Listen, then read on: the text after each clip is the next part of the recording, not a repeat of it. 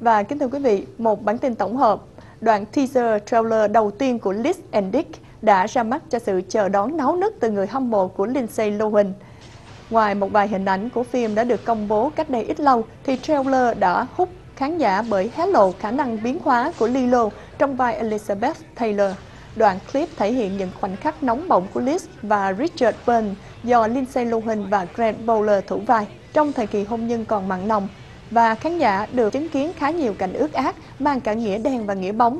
Trong phim như cảnh cả hai người vui đùa trong bể bơi hay là cùng tình tứ trong bồn tắm. Bên cạnh đó, clip còn tiết lộ một cái nhìn thoáng qua vào giai đoạn khủng hoảng trong cuộc sống của Elizabeth Taylor. Hình ảnh của một Liz phát điên tới mức ném mạnh ly rượu vào tường hay khi đã già nua mang khuôn mặt sầu muộn ngồi trên chiếc xe. Tất cả đều được đưa vào trong đoạn video dài 30 giây này. Cùng với đó thì Lifetime cũng đã phát hành poster chính thức của Liz and Dick. Trên poster, Lindsay Lohan trong tạo hình xinh đẹp của Liz Taylor thời Hoàng Kim với các cụm từ in đậm giới thiệu những hình ảnh điển hình trong cuộc sống huyền thoại của Hollywood. Phim sẽ được ra mắt vào tháng 11 năm nay.